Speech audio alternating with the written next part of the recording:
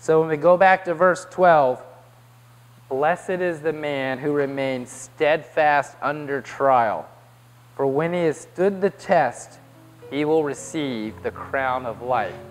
Those rewards in heaven that are waiting for us, that are waiting for those that spend their life doing activities, inventing things, you know, even playing stuff, or using the things in this world to glorify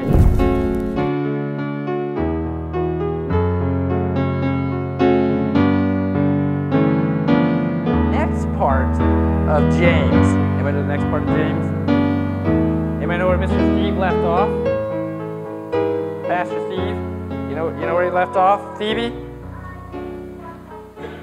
All right, so what verse are we going to start on? Nine, I'm just checking. All right, very good. So we're going to start on nine. So if you have your Bibles there, whatever, you can turn to James chapter 1, or you can turn in your book. It's right there. Uh, no, it may not be in your book. You can turn in your book. All right, anybody know what page they need to be in their book? Page 13. All right, everybody get page 13 in your book? All right, so page 13. Can you find it, Raphael? Page 13. Judy, you want to sit up here and help them find it? All right. So, James chapter 1, we're going to start at verse 9. And we're going to go all the way to 15, but we're not going to do it just yet. Okay? All right. So let's read starting at verse 9. We're going to read 9 through 11. Sebastian? 13. Can you find 13? Can you find 13? All right. All right, so starting with verse 9. Everybody got it? You know, I'm just happy they're interested in wanting to get there.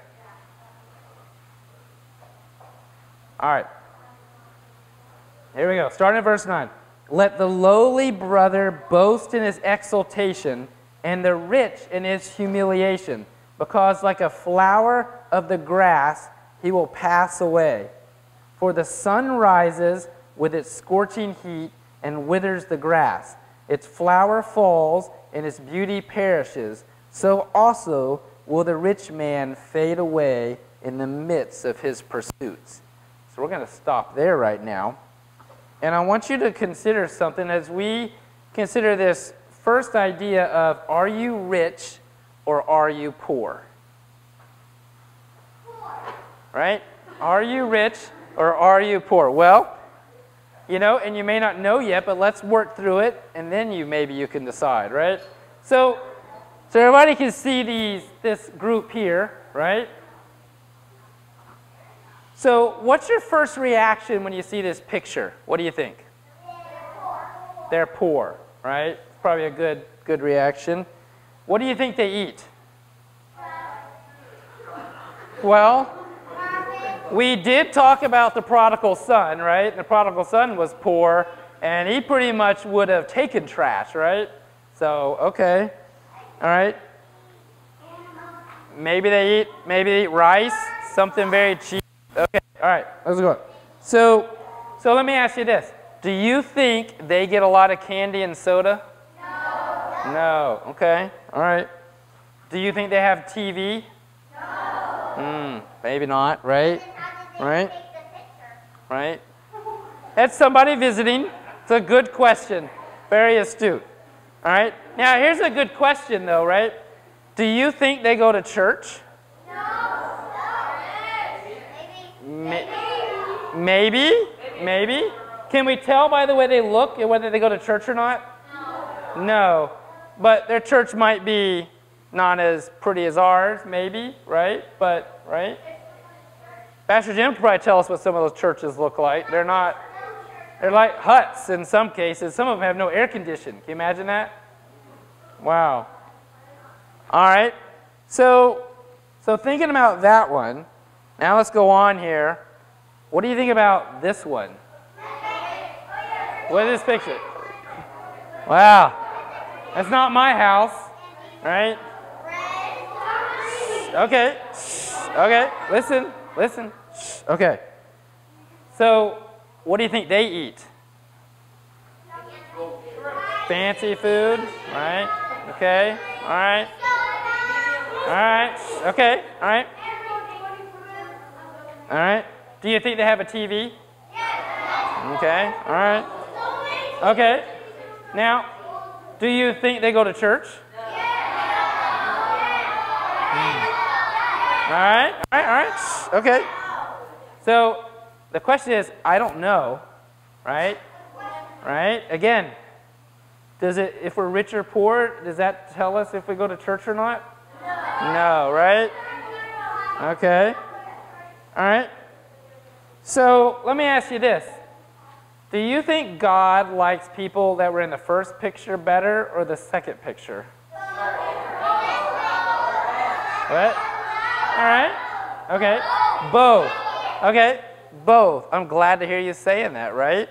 Right? Because it's important. So as we go along here, okay, God doesn't, so right in your book, right? God doesn't consider us differently if we are rich or if we're poor. Okay? So that's the most important thing. Because sometimes we look down at those that are poor, and sometimes we look down on those that are rich. You know, and, and I think all of us are probably somewhere in the middle. All right? And the next thing is okay. All right? True riches come through what? Right? Thank you. True riches come through life with God, right? Yes?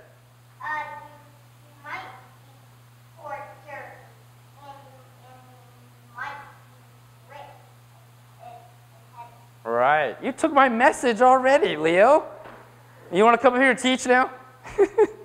All right. Very good. You guys are astute, right? All right. And that's exactly what I'm saying, right? And we're going to talk a little bit deeper in that, though, okay? All right. And our third point is this is interesting, right? Sometimes our riches, which we can call our stuff, who has stuff? Who has stuff? You have stuff at home, right? Stuff at home. Sometimes our stuff, right, gets in the way. So we lose focus on the things of God because of our earthly riches and our stuff. So it's interesting while you guys are still getting this down. You guys almost got it? Almost. Okay. All right. Give me, give me an example of your stuff. What's an example of your stuff? Who's got stuff? Grant, you got stuff? What? Video games? Oh no. You're stealing my message too. All right. Who else got stuff? Yeah. Legos or toys. Okay. All right. Who else has stuff? Go ahead. Yep. Sports equipment. Man, you guys have a variety of stuff. All right. Put your hands down. Put your hands down. We'll, we'll, we'll do more. All right. So everybody has these stuff here on earth, right? And that may not be, that's not where our riches are, is it? Okay? Right? So the question is, is do our, does our stuff ever distract us from what we should be doing? So here I gotta, I'm gonna see, okay, so I want you to be perfectly silent on this one. Don't say a thing. And I'm going to ask you to raise your hand if you recognize this.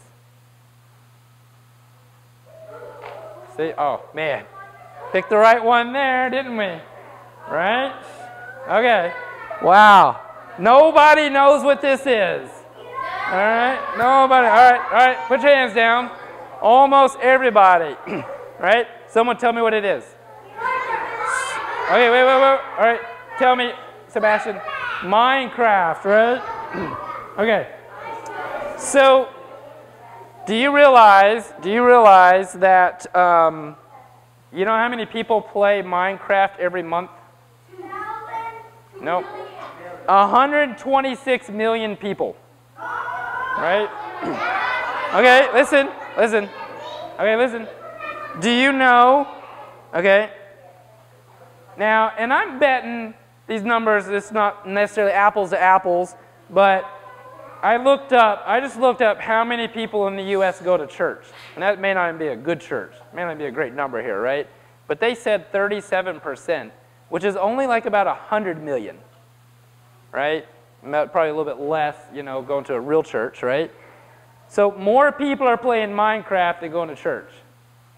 That's a problem, right? Right? That's a problem. All right. All right, listen. Listen. Shh.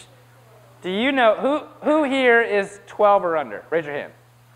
12 or under. Okay. So you know what the statistics say? Listen. Shh. Listen. Put your hands down. The statistics say that kids 12 and under, between 8 and 12, play video games like five hours a day. Right? All right, now, now let's go to the teenagers. Who's here a teenager? All right. Statistics say teenagers play like seven to ten hours a day. All right. Okay. Listen. Listen. Shh. Now, this may not that may not be you. And if it's not you, thank your parents. All right, listen. Shh, turn around. Turn around. Turn around and listen, Isaac. Right? That may not be you, but we're spending more time playing video games than we are thinking about God. Right? We play video, more people play video games than they go to church. I'm betting that's actually true. Right? So, so think about that.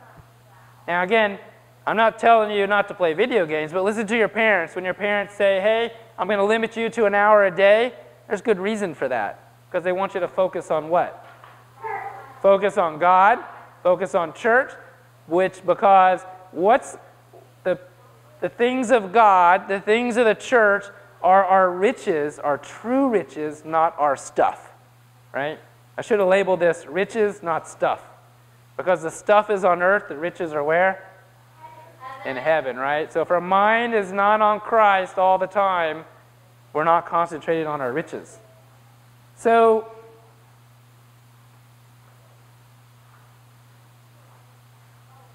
all right, so I got a couple more things here.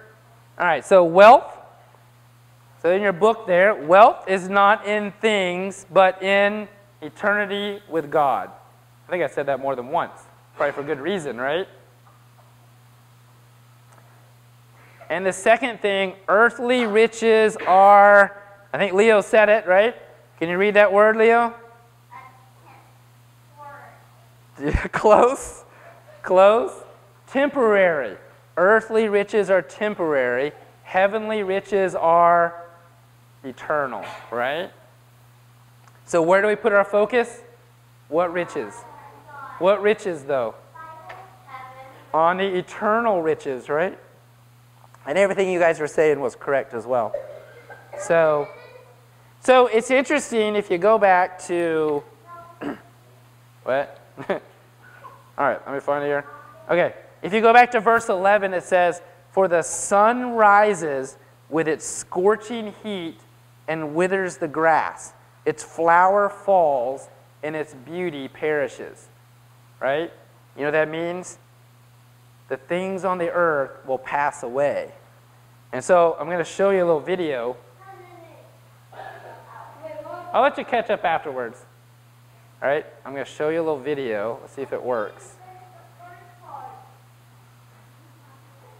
All right, watch this. Anybody, everybody love a rose? A nice, pretty red rose, right? Isn't that amazing? Isn't that a very pretty rose? You know, that grew it grows like the things we have, the things we have on earth, right? And some of it's very pretty. But what's going to happen in the end? Right? Let's see what happens.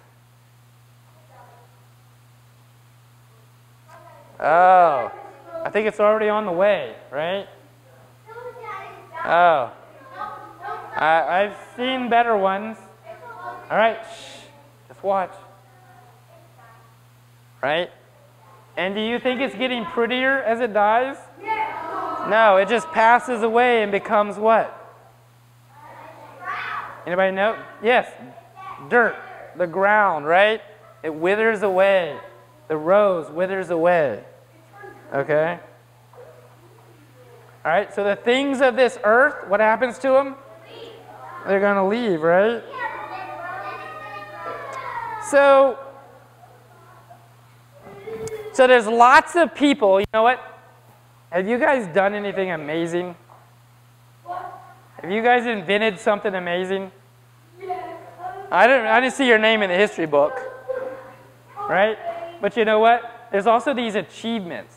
You know, I can do great things, but it's how do I, how do I, in the process, do that, right? And do you think, do you think a thousand years from now they'll remember what I invented? What? Okay, well, let's see. Let's see. Let's test you. Who knows? Who is, who is this guy? What did he invent? All right, we got one in the back. Anybody else know? You know?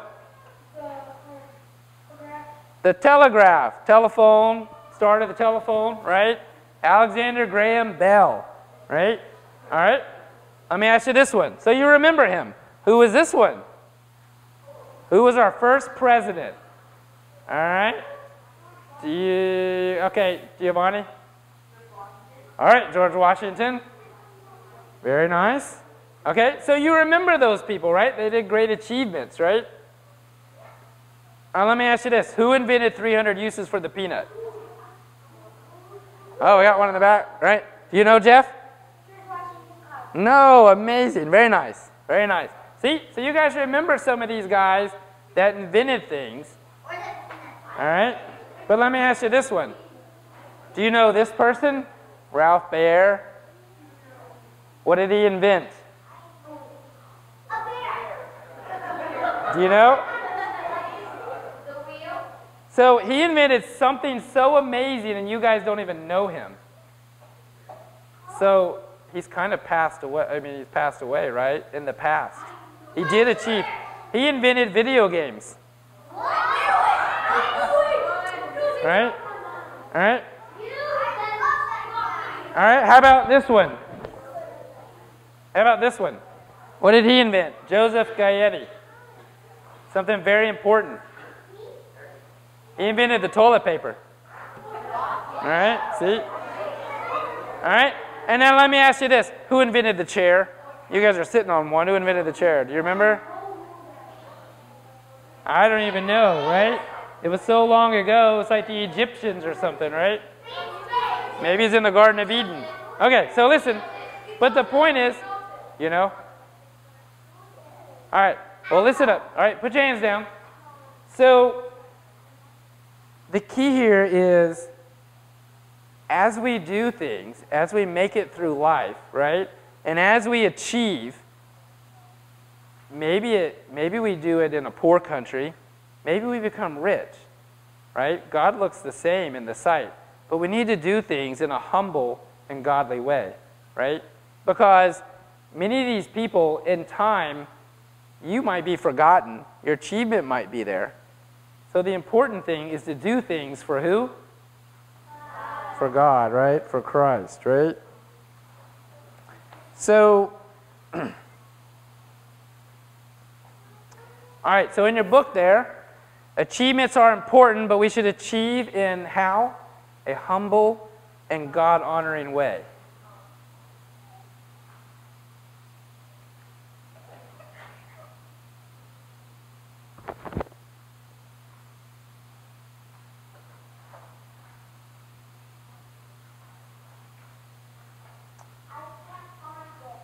Well, I'll help you out next time. So, the next thing I want to talk to you about,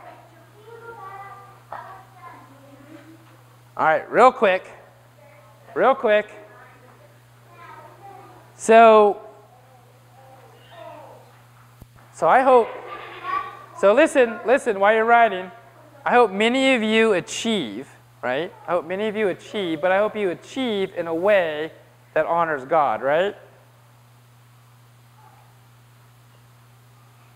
All right. So as we go on, if you don't get it, you can see me afterwards. I'll get it to you. So in this case, let's go on to verse 12. So we're going to go back to James, verse 12. Blessed is the man who remains steadfast under trial. For when he has stood the test, he will receive the crown of life, which God has promised to those who love him. So Pastor Steve talked a lot last night about that we're going to have what? We're going to have trials in our life, right? Okay? So, so what's this crown of life? And so I put it up here. The crown of life, it's eternal blessings for remaining steadfast under trial. So what does it mean to remain steadfast? Anybody know? What does it mean to remain steadfast? Staying strong, right? Staying, you mean you're putting your, your entire effort into it. And that's why I put these pictures up here. So think about these guys here in the picture. Do you think they're giving it their all? All right, so the first one with the crown, well, let's just go to the, the guy on top of the mountain. Do you think it was easy to get to the top of the mountain? right? He's given it, he had to give it everything he had to get there. And what do you think about this runner? Is he going to win? Right? Has anybody ever dove onto concrete after running as fast as you can? No, it's not a good idea, right? Right? He gave it all that he could. And so as we approach these trials, we need to give everything we can.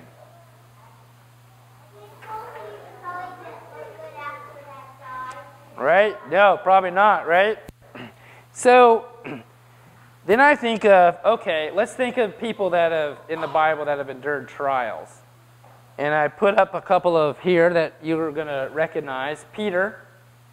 So Peter denied Jesus three times because why? He was afraid. He was afraid of his life. Right? So he went through a very difficult time when Jesus had been taken in, captured, and then they came to Peter and said, Hey, aren't you one of Jesus' disciples?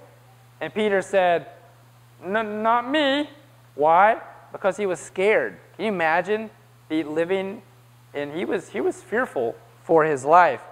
And then Paul, it's amazing, Paul spells it out in 2 Corinthians um, chapter 11, verse 25 and 26, and says that all the things that he went through. So he went through and Paul says, Five times I received at the hands of the Jews the 40 lashes less one. So 39 lashes, five different times. Three times I was beaten with rods. Once I was stoned. Three times I was shipwrecked. A night and a day I was adrift at sea. He was floating at sea.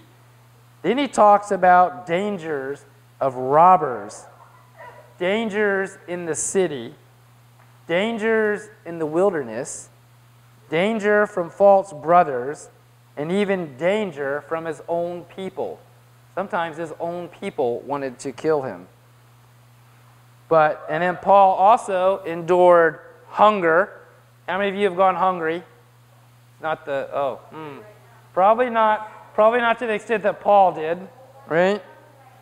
And then Paul even had to escape in a basket, right? To save his life in, down the wall, right? So, so hopefully, we're not going to endure such intense trials that Paul had, right? Or that Peter went through. But you could. And we need to think about now how do we, how do we prepare ourselves? Because the only way we can remain steadfast under trial is if we prepare ourselves. Right? And how do we prepare, prepare ourselves?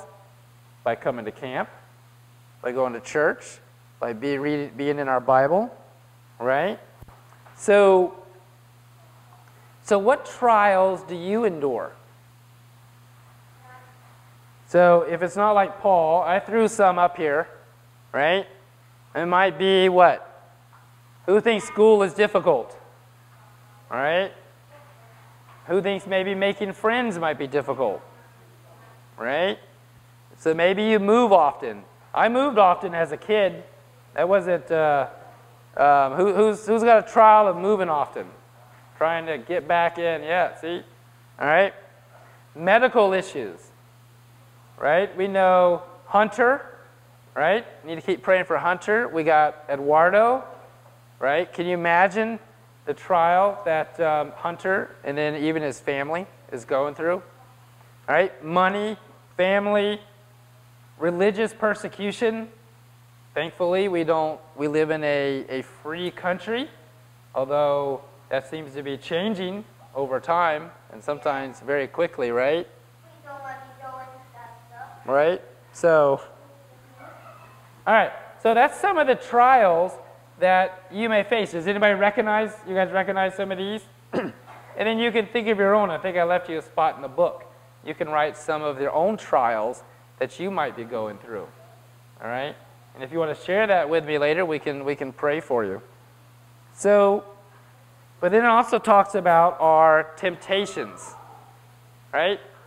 So, all right, put the toys away.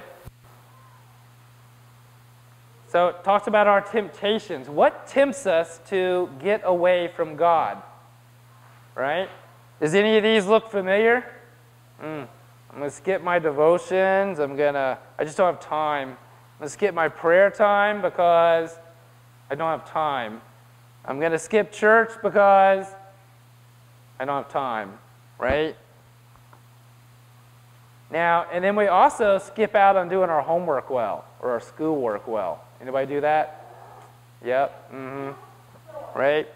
And then I just put this, I put this other one in here, inappropriate what? Inappropriate movies, games, behavior, right? So sometimes we watch things we shouldn't watch. Sometimes we get involved with friends we shouldn't get, well, let's just call them kids we shouldn't get involved with, right? Okay?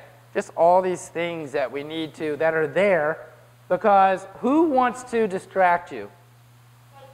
Satan. And Satan, what is Satan going to distract you with that we learned earlier? Sin. Earthly stuff. Earthly stuff. Thank you, Leo. Earthly stuff, right? So, and I put down, I left you a gap there so you can put, what are your temptations?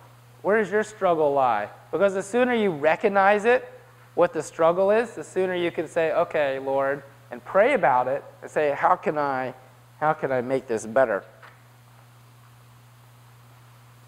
So, all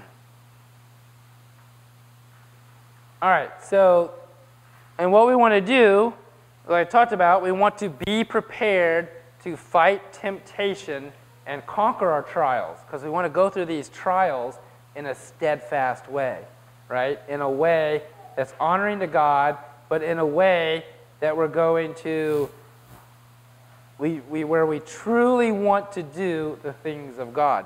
Yep. What's up? Oh, is there a blank? There may not have been a blank. There is a blank? Okay. All right. All right. Well, whatever you got in the book, you can try to fill it in. Oh, this. Often. What are we going to do? Pray often, right? All right?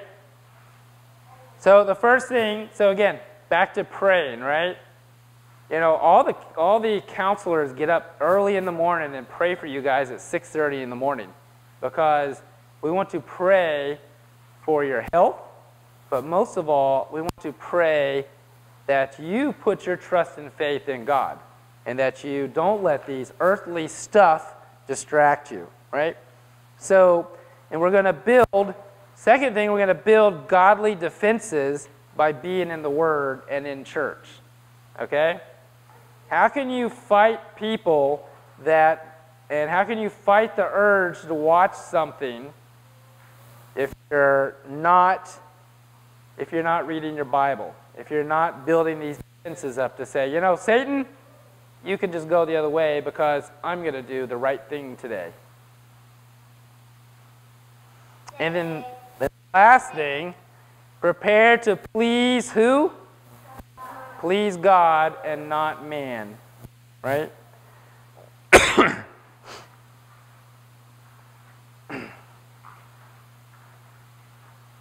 All right, so our last thing. So, three steps we often take, right? Because the last thing here is verse 13. Let no one say when he is tempted, I am being tempted by God. For God cannot be tempted with evil, and he himself tempts no one. But each person is tempted when he is lured and enticed by his own desire. Then desire, when it has conceived, gives birth to sin, and sin, when it is fully grown, brings forth death. So we're going to look at three things that many of us do. First of all, we willingly sin, right? Because the sin doesn't come from God. Second thing is now we make excuses for our sin. And then the third thing when the consequences of that sin catches up to us, who do we blame? We blame God. We may blame other people, right? So we shift the blame outside of us, right? So we're going to go back, since, since you guys know on the boys' side, I like to tell stories, right? So we're going to go back to the Garden of Eden. And in the Garden of Eden, God told Adam one thing. Remember what he told him? Don't eat of the tree of good and evil. If you do, you will surely die. Surely die, right? That's what it says, right? Which goes along with our verse there. Okay? now, Adam was alone, right? And so Adam, so then God created who? Eve, right? and I'm going to read there. It says, Now the serpent was more crafty than any other beast of the field. So, do you think that, and when you get these urges to do these, to watch these things or play these games that are inappropriate or, or to just skip out on doing something, right? Remember, the devil is crafty. He's going to find things to your mind to think about, to try to distract you. Right? Probably maybe you're distracted right now. All right? But we'll see. All right, so he was crafty, more crafty than any of the beasts of the field that the Lord God had made. He said to the woman, Did you actually say, You shall not eat of the tree in the garden? That's what the serpent said. And the woman said to the serpent, We may eat of the trees in the garden, but God said, you shall not eat of the fruit of the tree that is in the midst of the garden, neither shall you touch it, lest you die. But the serpent said, You will not surely die, for God knows that when you eat it, your eyes will be open. See? This is the serpent being crafty, trying to give you an excuse. Oh, no, no. God don't really mean that. And you will be like God, knowing good and evil. So when the woman saw that the tree was good for food, now the woman's like, oh, I can be like God. Oh, and there's some great looking fruit. And that it was a delight to the eyes, and that the tree was to be desired to make one wise. She took of its fruit and ate it.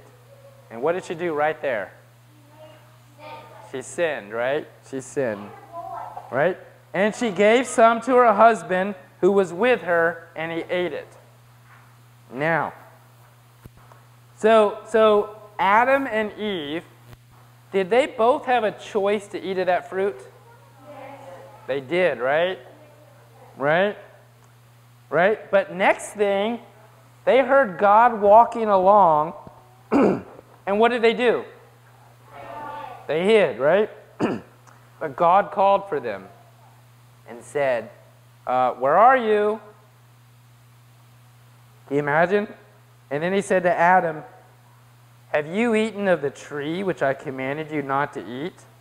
And Adam said, The woman who you gave to be with me, she gave me the fruit of the tree, and I ate it. So who did he blame? Eve. He blamed Eve. But who made the choice to eat? Adam, right? So we can't go shifting our blame to somebody else, right? We can't go shifting. When we when we do an act, it's by our own free will or by our will. So, but then Eve, what is this that you have done? And the woman said, Who did the woman blame it on? The serpent, right? So they're just blaming, right? But yet it's their it's their will, it's their act that did it. So, all right? And of course, their consequence is what? I got thrown out of the garden. And now they're actually going to physically die. So that's still true. And in one sense, he blamed God because Adam said it was Eve, and who gave God who gave Eve to Adam? God did, right? So now he's blaming God. So so we talked about temptations in your life, right? Whether it's not getting to church, not listening, not paying attention, not doing what your parents say, whatever the case may be. but then, then we make excuses, right?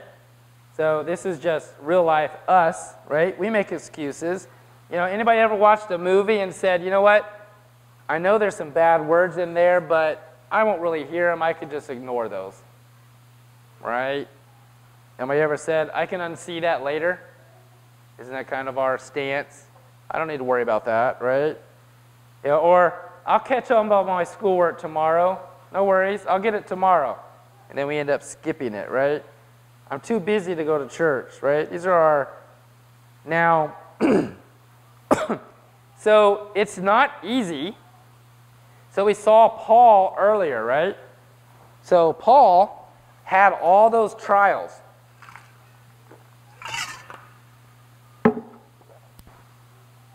Paul had all those trials, and yet Paul even struggled with sin, just like we do. And if you go to Romans chapter 7, 15, Paul says, you can see he's, it's, he compares sin to a war waging in you.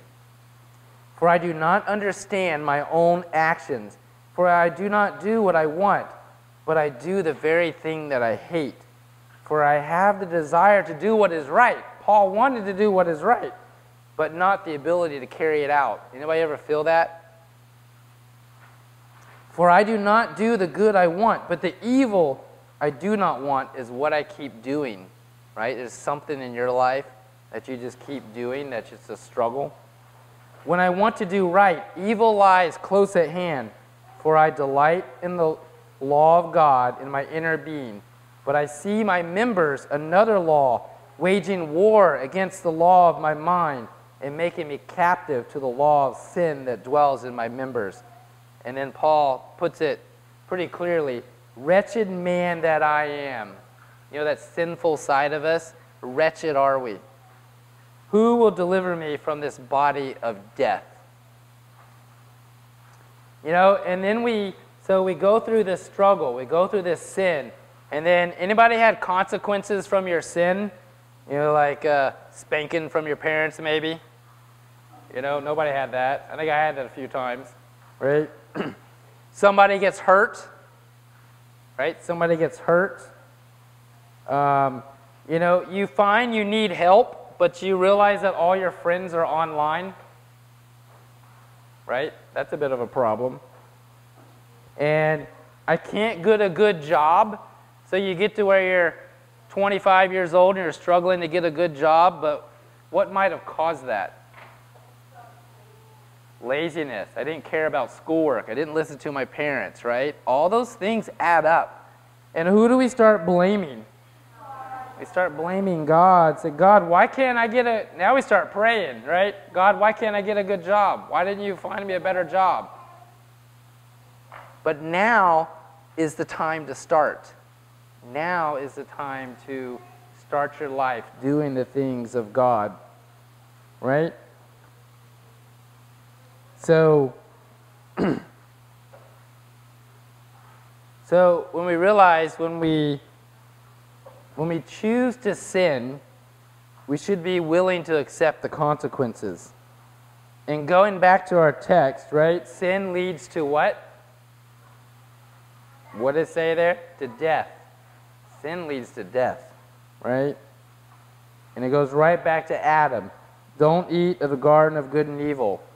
Or Paul said, the wages of sin is death.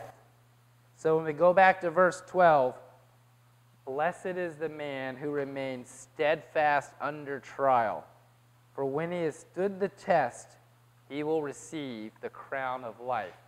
Those rewards in heaven that are waiting for us, that are waiting for those that spend their life doing activities, inventing things, you know, even playing stuff, or using the things in this world to glorify Him rather than just to distract us from Him.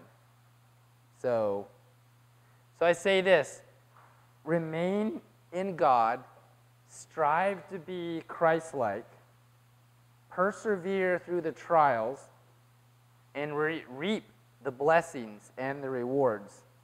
Be prepared for what is to come, and don't wait until you get in a trial to prepare yourself. You know what?